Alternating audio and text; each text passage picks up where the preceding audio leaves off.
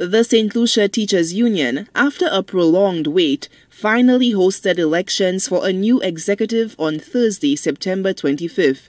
Chairman of the SLTU, Thomas Boulogne, says the marked difference in this year's election has been the long, anxious wait for teachers to get to the polling stations. One day after the elections, the preliminary results are in. All eyes were fixed on who would become the new president of the SLTU. For president, we'd expect um, Don Howell to be the, the new president and um, we will have the final results, but preliminary results indicating that he's leading, as well as for the position of first vice president, we have Vern Charles. And um, the second vice president is already um, appointed because that's Simmons Jules, who was unopposed. And for the position of general secretary, we have Chantal Peter uh, leading significantly. So and as well, we have for the position of Deputy General Secretary, we have Dahlia Nepstiel Abbott as the person who is leading.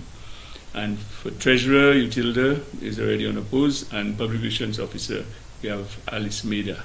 Some 2,500 teachers cast their vote for their desired candidates for the various seats.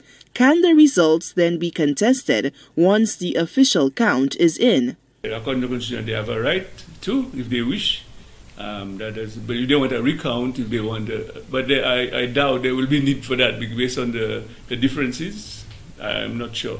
They would be, anybody would be prepared to ask for a recount because but it's their right. The chairman says the final votes are still being counted, but there is no anticipation that there will be any swing in the results. The next process will be the installation of the exec- of the new executive.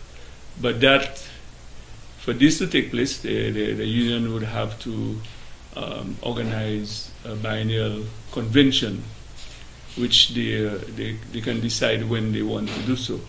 And this biennial convention has to be um, notified, or members have to be informed of that biennial convention at least 30 days before it takes place. Despite the challenges, Boulogne describes the election process as smooth sailing.